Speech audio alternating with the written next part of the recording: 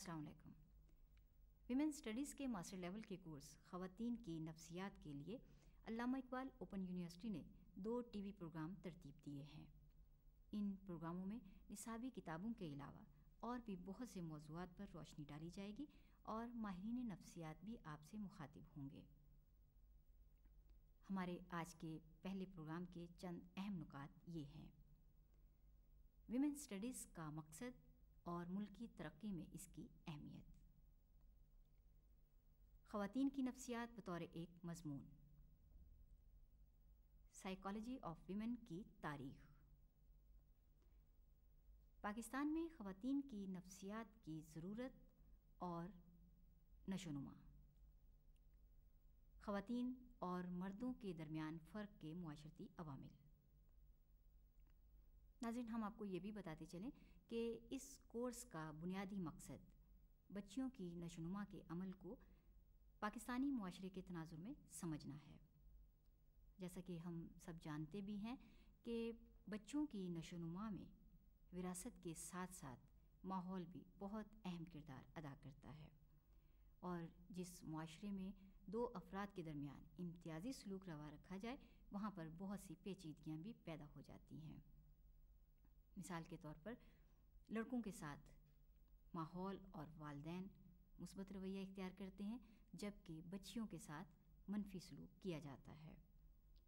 اور یہی امتیازی سلوک بچیوں کی کردار سازی پر بہت اثرات چھوڑتا ہے اور ہمارے اس کورس میں بھی اسی بارے میں بات ہوگی۔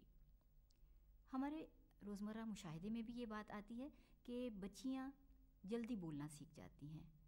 زیادہ سمجھدار ہوتی ہیں، ہوشیار ہوتی ہیں اور ان کے کھیل، لڑکوں کے کھیل آپس میں مختلف بھی ہوتے ہیں۔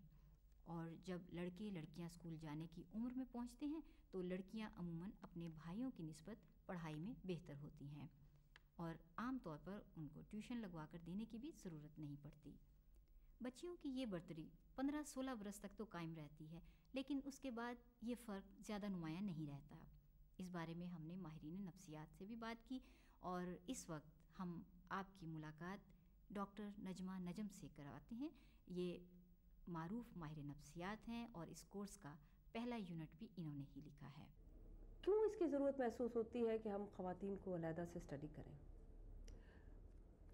ہم یہ سمجھتے ہیں کہ خواتین کے کئی مسائل ہیں جن کا فار ایگزامپل یا مثال کے طور پہ خواتین کی بایولوجیکل نیچر کئی ایسے ایکسپیرینسز ہیں یا تجربات ہیں جن سے ایک آدمی نہیں گزرتا۔ آپ مثال کے طور پہ لے لیجیے مینسٹرویشن مثال کے طور پہ لے لیجیے پریگننسی مثال کے طور پہ لے لیجیے مینوپوز ان سب کے ساتھ ایک پورا سائیکولوجیکل یا نفسیاتی بیہیویئر تعین ہے۔ اور وہ صرف خواتین کو اسٹڈی کرنے سے ہمیں پتہ چلتا ہے کہ کیا کیا چیزیں ہیں یا کیا کیا محرکات ہیں جن سے وہ گزرتی ہیں، اور ان کو کیسے ان کے بیہیویئر کو یا ان کی ریلیشن شپس کو وہ افیکٹ کرتی ہیں۔ فار ایگزامپل اگر آپ دیکھتے ہیں مینوپاز مینوپاز سے ہر عورت گزرتی ہے۔ کبھی احساس نہیں ہوتا کہ یہ مینوپاز سے گزر رہی ہے۔ اس عورت سے پوچھیں، وہ گزر رہی ہوتی ہے سیویئر ڈپریشن سے، وہ گزر رہی ہوتی ہے بایولوجیکل چینجز سے وہ گزر رہی ہوتی ہے ہارمونل چینجز سے اور ان سب چینجز کو وہ خود بھی انڈرسٹینڈ نہیں کرتی۔ تو سائیکالوجی آف ویمن یا عورتوں کی نفسیات ان سب چیزوں کو انڈرسٹینڈ کرتی ہے انڈرسٹینڈ کرنے کی یا سمجھنے کی کوشش کرتی ہے اور پھر وہ سمجھانے کی کوشش کرتی ہے خواتین کو بھی اور مرد حضرات کو بھی کہ دیکھیے ان چیزوں سے یہ گزر رہے ہیں اور جو بیہیویئر آپ دیکھ رہے ہیں وہ صرف یہ نہیں ہے جیسے فرائڈ کہتا ہے ہسٹیریا ہے۔ وہ مذاق اڑانے والی بات ہے کہ جی خواتین میں یہ چیزیں ہو رہی ہیں۔ وہ بایولوجیکل ٹروتھس ہیں۔ ناظرین ڈاکٹر آئی این حسن خواتین کی تحقیقات پر انہوں نے بہت کام کیا اور بہت سے مقالے بھی لکھے۔ آئیے ہم ان سے پوچھتے ہیں کہ ان کی تحقیقات کا فوکس کیا رہا ہے۔ میرے پی ایچ ڈی کی تحقیق کا موضوع معاشرتی اقتدار کا بچوں کی کردار سازی پہ جو اثر ہوتا ہے وہ تھا۔ اپنی اس تحقیق میں میں نے ثابت کیا کہ معاشرتی رویے بچوں کی شخصیت پہ بہت گہرا اثر ڈالتے ہیں۔ اور شاید یہی وہ تحقیق تھی جس نے بعد میں میری تحقیقات کا رخ بدل دیا۔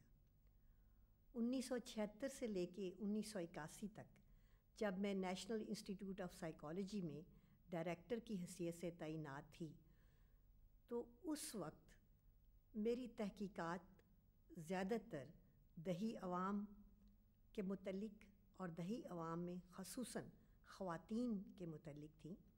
اس زمانے میں چار پانچ بہت بڑی بڑی تحقیقات کی گئیں جو نیشنل لیول کی تھیں اور یہ دیکھا گیا کہ ہمارے معاشرے کی قدریں اور ہماری ہمارے معاشرے کے رویے خواتین پہ خاص طور پہ بہت منفی قسم کے اثرات چھوڑ رہے ہیں۔ اور انہی رویوں کو سمجھنا اور پھر اس کا اس کا تدارک کرنا شاید ہمارے تحقیق کرنے والے لوگوں کی سب سے بڑی ذمہ داری ہے۔ ڈاکٹر صاحب، آپ ہمیں یہ بتائیے کہ جیسے ہم بات کرتے ہیں ویمن اسٹڈی کی اور سائیکالوجی آف ویمن کی، تو پہلے تو یہ بتائیے کہ ویمن اسٹڈی کیا ہے؟ اور پھر یہ بتائیے کہ سائیکالوجی آف ویمن جو ہے، اس کا، اس سے کیا تعلق ہے؟ خواتین کی نفسیات دراصل نفسیات کے مضمون میں ایک نیا ایڈیشن ہے۔ خواتین کی نفسیات ایک مضمون کی حیثیت سے پچھلے پندرہ سے بیس سال کے دوران وجود میں آئے اور اس کے وجود میں آنے سے نفسیات کے مضمون کی بہت ترقی ہوئی۔ ماہرین کو نہ صرف خواتین کو سمجھنے میں آسانی ہوئی، بلکہ خواتین کو سمجھنے کی وجہ سے ہمیں مردوں کے سمجھنے کی بھی ضرورت محسوس ہوئی اور ان میں زیادہ باریکی آ گئی۔ یوں تو ماہرین نفسیات اس بات کو سمجھتے تھے کہ بچے اور بچیاں ایک دوسرے سے مختلف ہوتے ہیں۔ پیدائش کے وقت سے لے کے بچیاں لڑکوں کی نسبت تھوڑی سی جسمانی طور پہ آگے ہوتی ہیں۔ خاص طور پہ یہ دیکھا گیا ہے کہ بچیاں جلدی بولنا سیکھتی ہیں، جلدی چلتی ہیں، اور بلوغت میں قدم بھی لڑکوں کی نسبت جلدی رکھتی ہیں۔ ماہرین عام طور پہ یہ جانتے ہیں کہ لڑکیاں جسمانی لحاظ سے لڑکوں سے تقریباً دو سال آگے ہوتی ہیں۔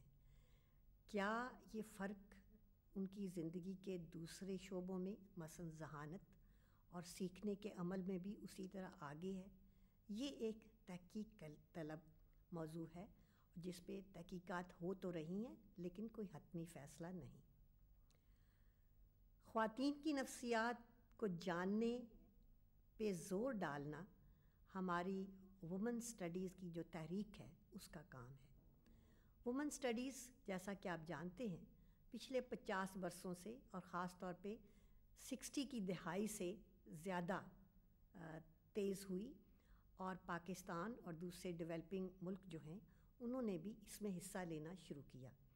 ویمن اسٹڈیز میں جیسا کہ آپ جانتے ہیں، خواتین کی اہمیت اور خواتین کو برابری کا درجہ ملنا جو ہے، وہ موضوع ہے۔ اور اس میں خواتین ہر جگہ پہ پیش پیش ہیں۔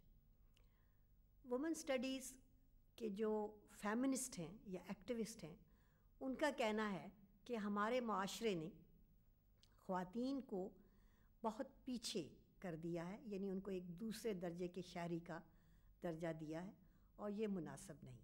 کیونکہ خواتین بھی مردوں کی طرح انسان ہیں، اور اس شہری کی حیثیت سے ان کے حقوق بھی اتنے ہی ہیں۔ پاکستانی معاشرہ اگرچہ ایک مسلم معاشرہ ہے، لیکن یہاں پہ لڑکیوں سے امتیازی سلوک ہوتا ہے۔ آپ اور میں جانتے ہیں کہ جب ایک بچی پیدا ہوتی ہے، تو خوات، مرد اور عورتیں خوش نہیں ہوتے یا والدین جو ہیں، وہ اتنی خوشی کا اظہار نہیں کرتے جتنا لڑکے کی پیدائش پہ کیا جاتا ہے۔ میرے الحمد للہ دو بچے نے، ایک بچی ہے، ایک بچہ ہے۔ بچہ ڈیڑھ ایک مہینے کا سر، غریب آدمی کی خواہش تو بہت اچھی ہونی نے۔ لیکن خواہش خواہش اگر میرا بھی خواہش ہے کہ میں ان شاء اللہ بچے نے پڑھا لکھا کے فوجی پہ جاؤں گا۔ مشن پہ کوئی لیفٹن وغیرہ پہ آؤں گا ان شاء اللہ ڈاکٹر آئی این حسن نے جن حقائق پر روشنی ڈالی اس کی مزید وضاحت کرتے ہوئے ڈاکٹر ربکا نے ہمیں بتایا۔ جیسا کہ ہمارے کلینک میں ایک پیشنٹ آئی جن کی پہلے چار بچے تھیں اور وہ چاہ رہی تھی کہ اب کی دفعہ ان کے بیٹا ہو لیکن جب ان کی پانچویں بیٹی پیدا ہوئی تو ان کی ساس تو ناراض ہو کے کلینک سے ہی چلے گئی اور وہ پیشنٹ خود اتنی پریشان ہوئی کہ وہ شوق میں چلے گئی اور ہمیں کافی کوشش کر کے اس کی حالت ٹھیک کرنا پڑی۔ یعنی کہ معاشرے کا اتنا زیادہ پریشر ہوتا ہے کہ بیٹا ہونا بہت ضروری ہے اور بیٹے کی خواہش میں چھ چھ بیٹیاں پیدا کر لی جاتی ہیں، جن پر بالکل توجہ نہیں دی جاتی۔ ناظرین، ویسے یہ بات بھی قابل فخر ہے کہ ہمارے ملک میں رجسٹرڈ لیڈی ڈاکٹر کی تعداد، کل تعداد کا پچیس فیصد ہے۔ اور اسی طرح سے اسکول کے اساتذہ میں سے خواتین اساتذہ کی تعداد تیس سے پینتیس فیصد ہے۔ لیکن سوال یہ پیدا ہوتا ہے کہ کیا خواتین ایک اچھی وکیل، ایک اچھی انجینئر اور ایک اچھی سائنسدان نہیں بن سکتی؟ حالانکہ ایسی بات ہرگز نہیں، خواتین میں یہ تمام صلاحیتیں موجود ہیں، لیکن معاشرے کی بے جا پابندیوں کی وجہ سے وہ باہر نہیں نکلتی۔ اور دنیا میں ہمارے پیچھے رہ جانے کی بنیادی وجہ بھی یہی ہے کہ ہماری خواتین کی ذہنی صلاحیتوں سے فائدہ نہیں اٹھایا جاتا۔ اور اگر ہم چند ایک خواتین کو دیکھتے ہیں جو مختلف شعبوں میں کام کرتی ہیں، تو وہ بھی آٹے میں نمک کے برابر ہیں۔ آئیے اس وقت آپ کی ملاقات ایک وکیل خاتون سے کرواتے ہیں۔ اور میرے فادر یہ چاہتے تھے کہ اگر میں کچھ کرنا ہی چاہتی ہوں تو ایم ایس سی کر لوں گی، کہیں کالج میں لیکچر لگ جاؤں گی یا سی ایس پی آفیسر بن جاؤں گی۔ لیکن میں نے اس وقت میں نے اسٹینڈ لیا اور میں نے کہا نہیں، میں لائر بنوں گی، میں لاء میں ایڈمیشن لوں گی۔ ہم لوگوں کو تو دونوں طرف سے فیس کرنا ہوتا ہے۔ ایک تو گھر والوں کو کنونس کرنا، اوپر سے باہر آ کے لوگوں کے جو ہیں رویہ، ان کو برداشت کرنا، ان کے بیہیویئرس کو۔ ان، مجھے مطلب چار سال ہو گئے یہاں پریکٹس کرتے ہوئے۔ لیکن یہاں چار سالوں میں میں نے لوگوں کے بیہیویئرس کو اور ان کو بہت اچھی طرح آبزرو کیا۔ ہے یہاں کا ماحول جو ہے لڑکیوں کے لیے بہت ڈسکریجنگ ہے۔ بہت ڈسکریج کرتے ہیں اور وہ کہتے ہیں کہ نا، عموماً آپ دیکھیے گا مطلب عام اس میں دیکھیے چند ایک ہی لیڈی لائرز ہیں تھرو آؤٹ پاکستان جن کا آپ مطلب ایز اے جینون لائر نام سنتے ہیں۔ جو بھی ہیں یا تو وہ آفس ورک کریں گی یا اپنے سینئر کے پیچھے فائلیں لے کے کھڑی ہوں گی۔ آؤٹ اسپوکن آؤٹ اسٹینڈنگ لڑکیاں جو ہیں وہ کم ہی اس میں ملیں گی۔ صحافت کے شعبے میں بھی ہم اکثر مردوں کو ہی کام کرتا دیکھتے ہیں۔ لیکن اس وقت ہم آپ کی ملاقات ایک صحافی خاتون سے کروا رہے ہیں۔ ارلی سیونٹیز میں ہم نے نوٹ کیا تھا کہ ایک معاشرے میں ترقی کی جانب بڑھنے کا رجحان آ گیا تھا۔ اور اب جس طرح زیادہ فرسٹریشن ہے، یہ مجھے محسوس نہیں ہوتی تھی اس وقت۔ شاید میرے سے آپ اتفاق نہ کریں، لیکن یہ حقیقت ہے کہ اس دور میں لڑکیوں میں ایک حوصلہ پیدا ہوا تھا۔ اس وقت پہلی دفعہ یہ تھا کہ ایک ویمن ڈے کا کانسیپٹ دیا گیا۔ یہ سیونٹی فور کی بات ہے۔ ویمن ڈے کا کانسیپٹ دیا گیا۔ ویمنس کو تھوڑا سا موبلائز کیا گیا۔ تو خواتین میں بھی خاص طور پہ لڑکیاں جو گریجویٹس تھی نئی نئی، ان میں بھی آگے بڑھنے کا جذبہ تھا۔ اور جب میں نے جرنلزم جوائن کیا، آپ یقین کریں کہ مجھے کسی لمحے یہ احساس نہیں ہوا تھا کہ میں کوئی مردوں میں کام کرنے جا رہی ہوں اور یہاں کوئی ایسی مشکلات ہوں گی۔ میرے سامنے یہ تھا کہ مجھے کام کرنا ہے اور شاید یہ معمول کا کام ہوگا۔ اور میں نے اس کو معمول کے طور پہ ہی لیا اور تاہم، اب میں اس میں بہت فرق دیکھ رہی ہوں۔ اب ہمارے معاشرے میں فرسٹریشن ہے۔ اور خواتین اب میں نے دیکھا کہ زیادہ سیکیور فیل نہیں کر رہی جبکہ اب تعداد بہت زیادہ ہے۔ ہاں۔ اس وقت خواتین کی تعداد نہیں تھی فیلڈ میں لیکن اب معاشرے میں خواتین سیکیور فیل نہیں کر رہی۔ آئیے اس وقت ہم آپ کی ملاقات ایک ٹیچر سے کرواتے ہیں کہ انہوں نے ٹیچنگ کا شعبہ کیوں اختیار کیا۔ اصل میں بات کیا ہے کہ ہمارے خاندان میں خواتین کا جاب کرنا اتنا اچھا نہیں سمجھا جاتا تھا۔ اور نہ ہی ہمارے خاندان میں اتنی زیادہ خواتین سوائے ایک میری آنٹی کے کوئی جاب نہیں کر رہا تھا۔ لیکن جب میں ایف اے میں تھی تو جو میری جغرافی کی ٹیچر تھی، اس سے میں بہت زیادہ انسپائر ہوئی۔ ان کی وجہ سے میرے دل میں یہ شوق ابھرا کہ کبھی اگر مجھے چانس ملا تو میں بھی ٹیچر ضرور بنوں گی۔ اس لگن کو لے کے میں نے ایم اے کیا اور اس کے بعد جب میں نے جاب کرنے کے لیے کہا تو سب سے پہلے تو مجھے میرے والد صاحب کی طرف سے ہی کافی ریزسٹنس ملی کہ ہمارے خاندان میں چونکہ لڑکیاں جاب نہیں کرتی تو آپ بھی نہیں کریں گے اور اگر کرنی ہے تو صرف کسی کالج میں یا کسی ایسی جگہ پہ جہاں صرف خواتین ہوں۔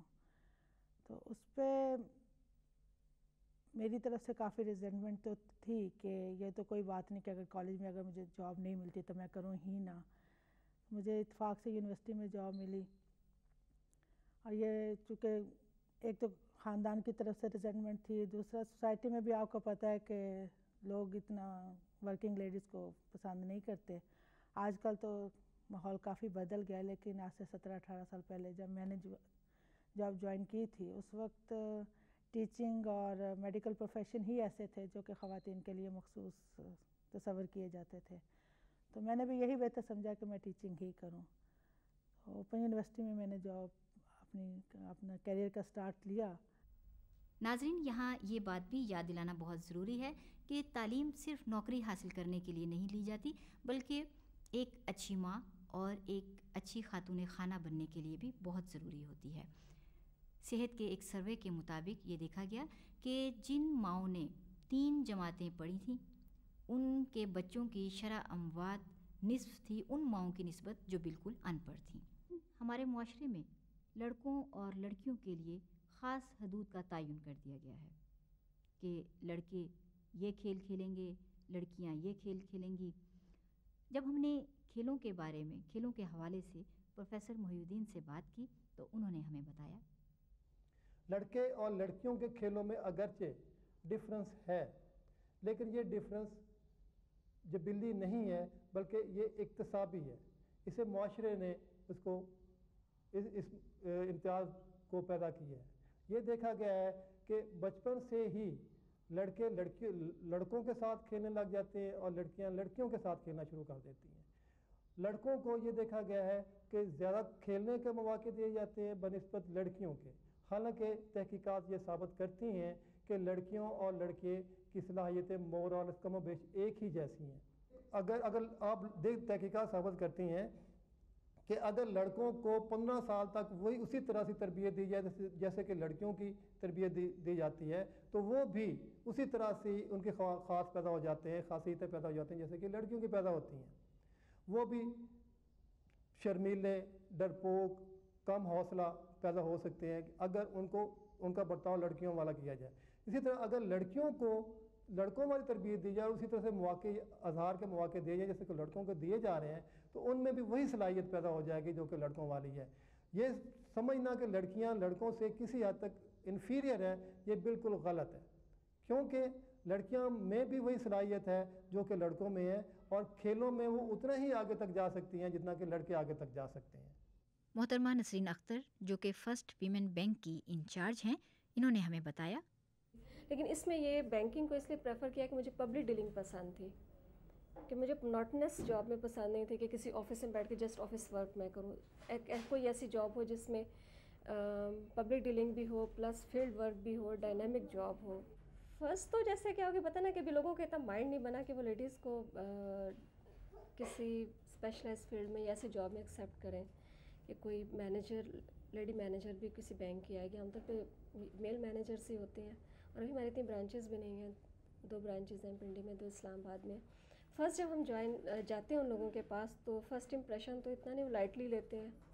لیکن یہ ہے کہ جب ہم ڈسکشن سٹارٹ کرتے ہیں تو پھر ان کو فیل ہوتا ہے کہ نہیں، یہ بھی کوئی بینکرز ہیں، ان کے پاس بھی نالج ہے اور they have come to help us ناظرین، خواتین کی نفسیات کا یہ کورس نہ صرف بچیوں اور خواتین کی نشوونما کے اور کردار سازی کے عمل کو سمجھنا ہی نہیں، بلکہ یہ بھی کوشش کی گئی ہے کہ پاکستان میں کی گئی تحقیقات کو بنیاد بنا کر پاکستانی خواتین کی نشوونما کو سمجھا جائے۔ خواتین کی نفسیات اس حوالے سے ہمارے ماہرین نفسیات کے لیے خاص طور پہ دلچسپی کا باعث ہوگی اور ہمیں امید ہے کہ ہمارے طلباء بھی اس سے خواتین کی نفسیات کو سمجھنے میں بہتر طور پہ قابل ہو سکیں گے۔ ناظرین ہمارا آج کا یہ پہلا تعارفی پروگرام خواتین کی نفسیات کے حوالے سے تھا۔ اگلے پروگرام کے ساتھ آپ کی خدمت میں ہم پھر حاضر ہوں گے۔ تب تک کے لیے اجازت دیجیے۔ اللہ حافظ۔